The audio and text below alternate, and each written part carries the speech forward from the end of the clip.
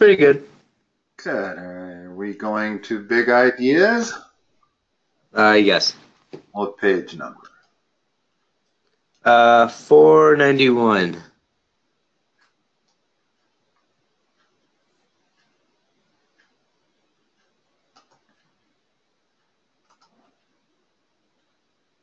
Huh.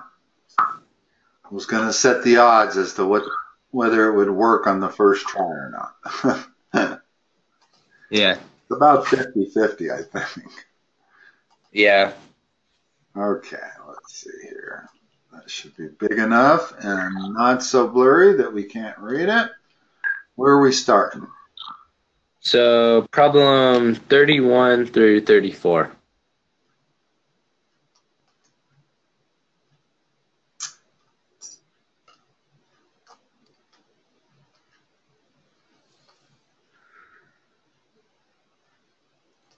Okay. Get the instructions in there. Graph the function. All right.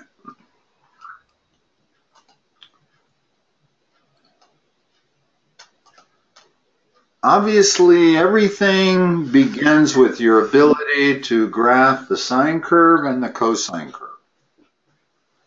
Agreed? Right. That Yep. that is something you need to be able to do on command. Now, unfortunately, one of the negative parts about doing online tutoring is these kind of questions where you're supposed to graph it. Uh, I would much prefer it if I could make you the presenter, have you have a drawing tablet and graph these. That'd be the best test. But the next best thing is let's start with, here, let me do it over here.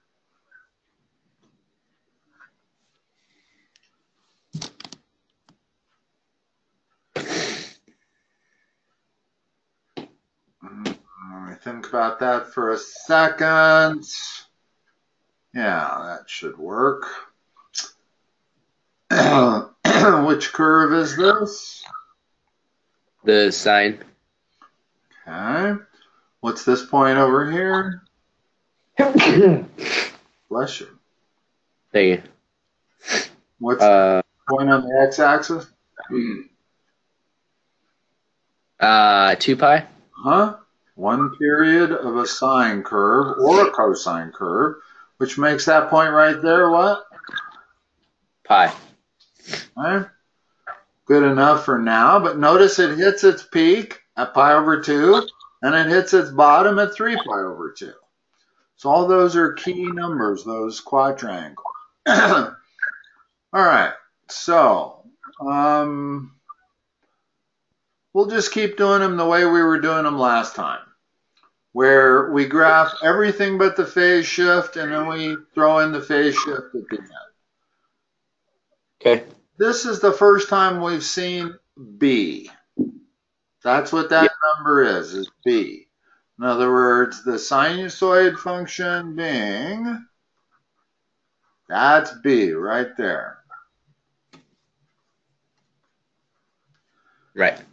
Now, the difference with B in sinusoids and in algebraic equations is that B is related to the period. That's what B means. Which means also that the period is 2 pi over B. Okay? So they give us a B here of 2. What does that make the period? Uh, it makes it pi. Exactly. Which means that instead of being able to draw this curve between 0 and 2 pi, I got to finish it between 0 and pi. So it's got to look something like this. Right. In other words, it's a horizontal scrunch, which is the same thing that thing does in a polynomial. in other words, that is a horizontal, if it's greater than 1, it's a horizontal scrunch. If it's between zero and one, it's a horizontal stretch. Same thing is true in trig. Exactly. Okay. So, so far, the only thing we've graphed is uh, the sine of 2x. That's what it would look like. Okay. Now let's apply the phase shift. What is the phase shift? C, first of all, what's C? The horizontal shift. No, up here. C is the phase shift. But in this problem, what is C? Pi. No. If C were pi, then this would read x minus pi. So negative pi? Yeah. Okay. In other words, it's always going to be the opposite of that sign right there. Remember, all your standards are x minus. So if you want to know what C is, it has to be minus pi because then it would be x minus a minus pi, which would show up as x plus pi. What direction do we go now that we know C is negative? Um, left. Correct. And that's why it's important to know exactly what C is because you end up realizing that positive C's shift right, negative C's shift left. So how do I draw this curve now? Where do I start?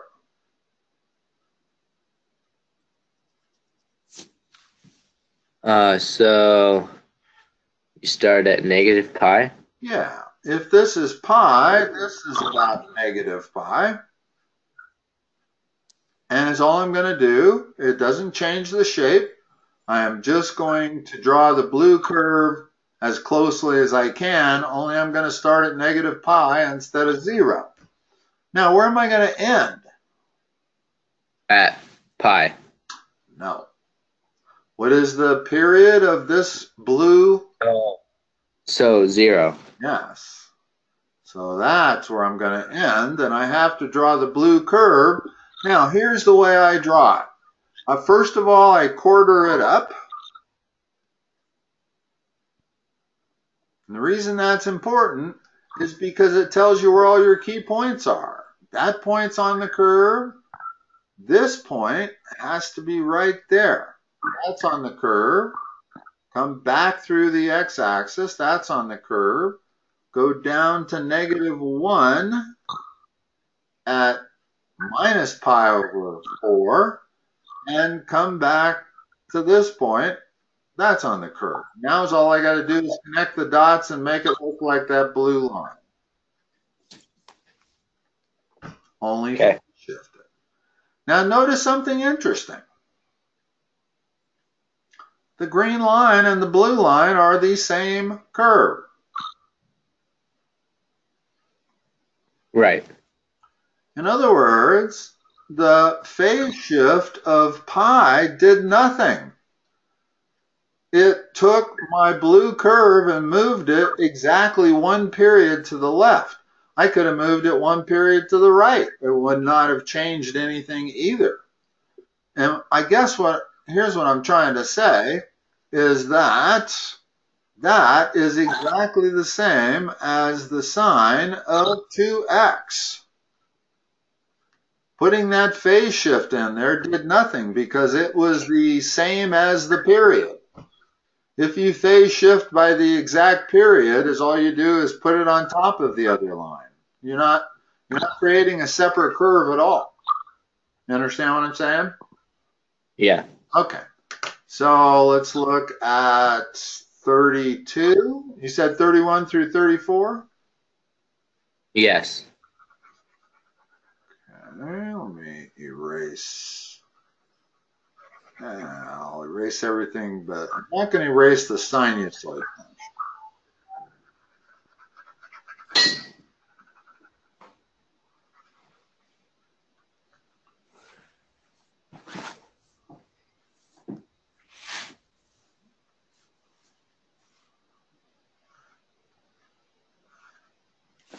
sine curve on there.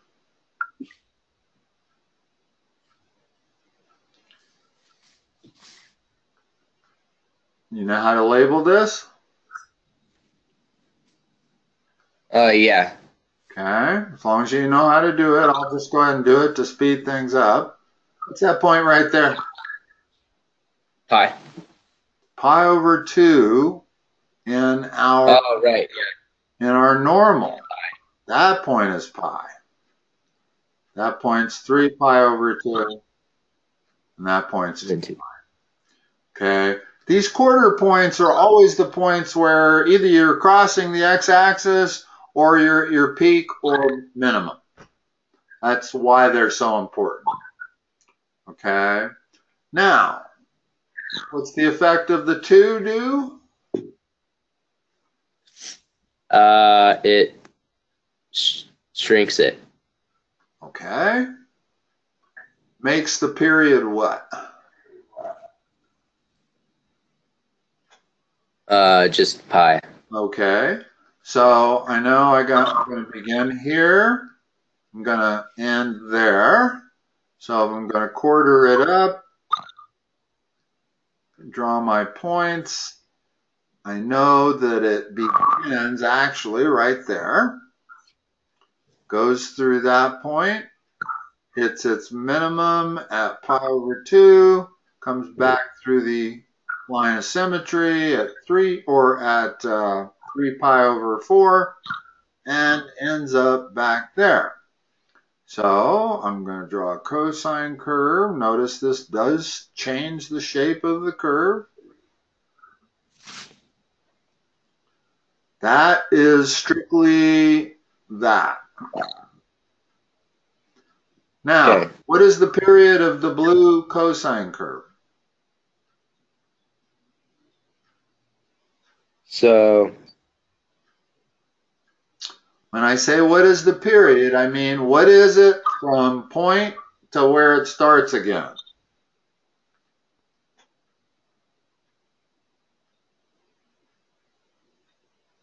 Pi. pi.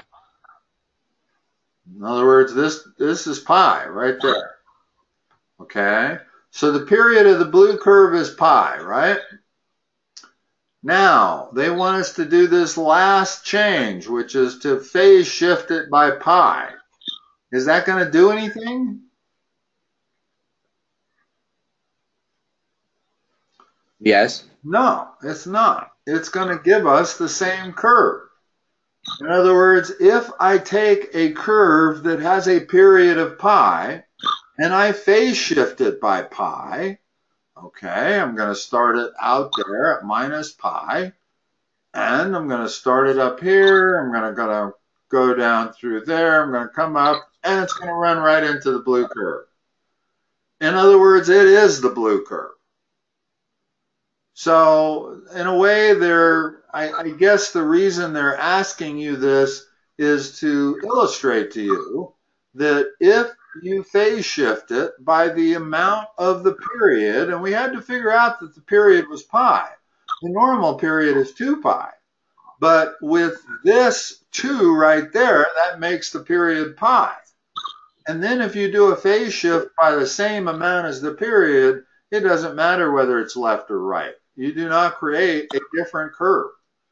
And in fact, if I were to draw the complete blue curve, it would just be on top of that green curve and go on and on forever and forever. So the green curve's not different. So I don't know what that means in terms of graphing it. I suppose what it means is the only thing you have to really graph is cosine of 2x. The teacher's not going to be able to tell the difference. You're not going to be able to know that you didn't graph the phase shift. They don't have you do it like I do it, do they? By using different colors? Uh, no. All right. Um, that's really kind of a nice way to do it because you see step by step how to do it. All right. Here we got one that has a lot going on. Hold on a second. My Windows Ink workspace is in molasses mode. Okay. So, I'm going to go through it step by step. Is that the way you want me to do it? I, I, I don't even know how to, another way to do it, to be honest. Um, other than step by step, I wouldn't know how to do the whole thing in one step. We're doing this one. Yep. What am I going to start off with? So the um What's my parent function is what I'm asking. oh so that is uh f of x equals sine of x. Okay, so that's what we're going to start off with. Sine of x. That's why it's so imperative that you know these two functions and how to draw them and how to label every point that's important. Okay? Okay. And I'll label that pi.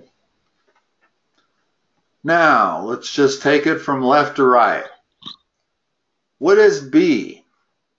First of all, A is 1, right? Yep. B is what? Um one or wait no. Uh one half. Which makes the period what? It's always the next question after you put what B is. B isn't important. What's important is what's the period because we can't graph it unless we know the period. Remember the period is 2 pi over Yes. B. Right. So two pi over one half, so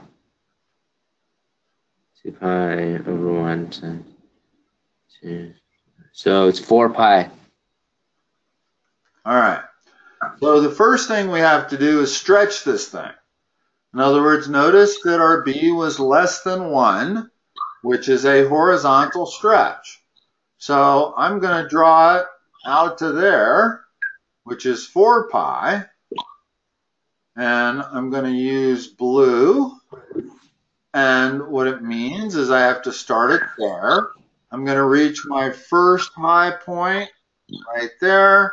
I'm going to come back through the x-axis right there. I'm going to hit my low point right there. I'm going to come back to zero right there. Okay.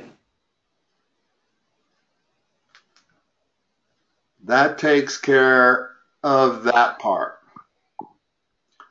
Now, I probably should have done that first, although it's easy enough to do now.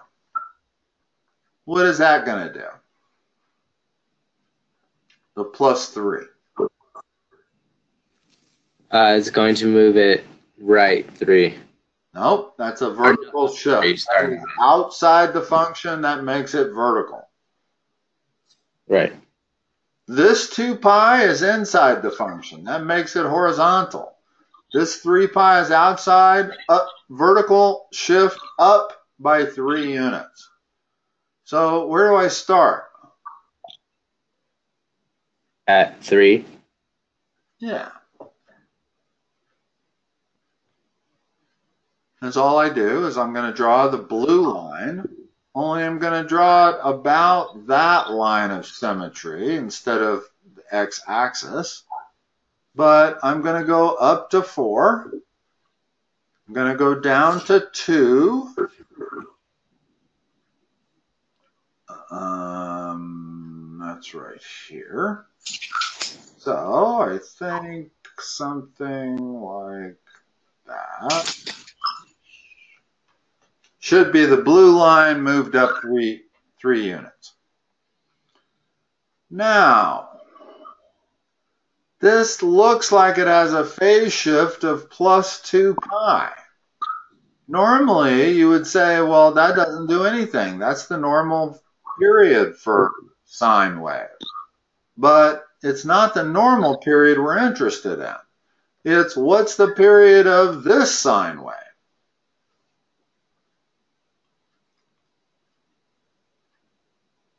That we just drew, the blue and the green, both have the same period.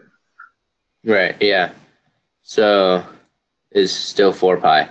Correct. Okay. Now this 2 pi phase shift means that might make a difference. I'm going to, first of all, what is C?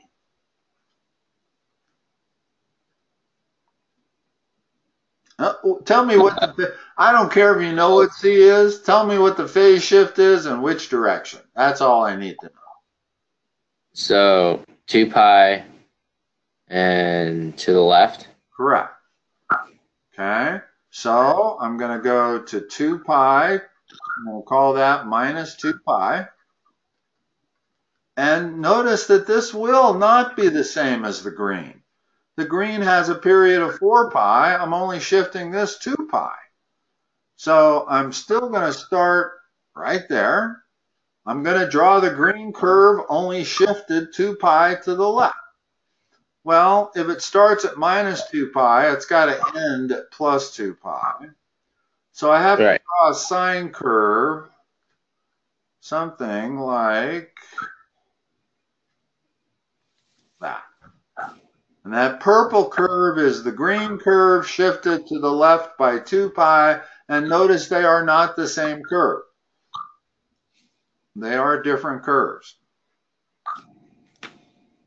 Okay. Okay. Also notice that that purple line, I could call that a negative cosine curve. No, excuse me, a negative sine curve. Almost. In other words, these sinusoid functions can be called literally an infinite number of things. Uh, it's not only one function describes a curve. I can look at this as a negative sine curve instead of what we're looking at it, which is a sine curve with a phase shift. Lots of multiple answers could be correct here. All right. 34? Uh, yes. Okay, again, let's start out with cosine curve that I know I'm going to have to stretch. So I'll make that 2 pi to start with. Makes that pi. I'll start there. I'm going to go through there. I'm going to hit there. What am I doing? I'm going to go through there. I'm going to go through that X. It's going to look like this. Okay. Maybe this outlier. So that's cosine of x. Got a period of 2 pi, goes from 1 to negative 1. That's cosine of x, one period of it. So, what's the half do? So, first of all, does that, that, what does that affect? Yeah, tell me what the consequences of that are. So it stretches it. Okay. To four pi. So four pi, just like the last one. So I'm going right. to go over here and put four pi and I'm going to use a blue line to stretch it to 4 pi, which means now I do go through there. I bottom out there. I go back through there, end up right there. So now what's the next thing to do? The negative 3 pi. Probably not. Let's take care of this before we do any phase shifting. I guess it doesn't really matter uh, as long as there's no negative signs being applied as multipliers. We can do these in any order we want. So I really could do, I'll, I'll do it your way just to show you that it doesn't matter. It's just that when you go to memorize it, you want to kind of do it the same way every time. All right, let's apply the 3 pi. What do I have to do? So you have to move it to the right 3 pi. Okay. So I'm going to start it not there, but right there. Correct? In other words, I'm taking this point here and I'm moving it 3 pi to the right. So that's my new starting point.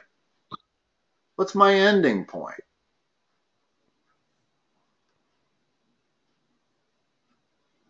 Uh, Always the way you want to do these is you want a starting So- point and an ending point, then you'll be able to draw the graph really easily. so it's seven pi. Okay? Because the period was 4 pi.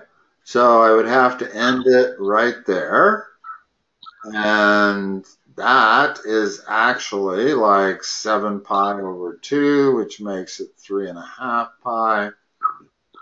But um, I'm going to draw it to m- minimize out like that. All right, so now I've gone left to right and I've applied the phase shift. What's the last thing to do? Uh, do the points. Or, well, sorry, the uh, negative five. Okay, what's that do? That moves it all down five. Not all of it, just the green curve. Right. Well, yeah. Right. Yeah. So I haven't really given us room here, so I'm going to call that minus 4. And basically, that's where it would start. In other words, if that point is at 1, this point's going to be at minus 4. I'm going to end it same way. It's going to bottom out somewhere around there. And that is supposed to be the green curve. Nearly moved down by 5 units. Okay. So you can see that you can apply these really in any order you want. And if you want to go left to right, that's fine. The, the one thing that applies, just like it applies with polynomials, is that if you have reflections, those must be done first.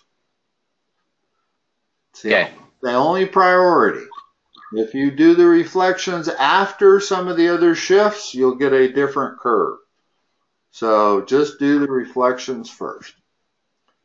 All right. What else? All right. Uh, problem 50. So you're right there. So it's okay. I see it. All right. These are pretty easy. Um, tell me what A is. So, Little a matches up with which curve? B. Okay. Let's B. look, let's look at little b. What is little b? Uh, C. Okay. And look at little c. First of all, what's the period on little c?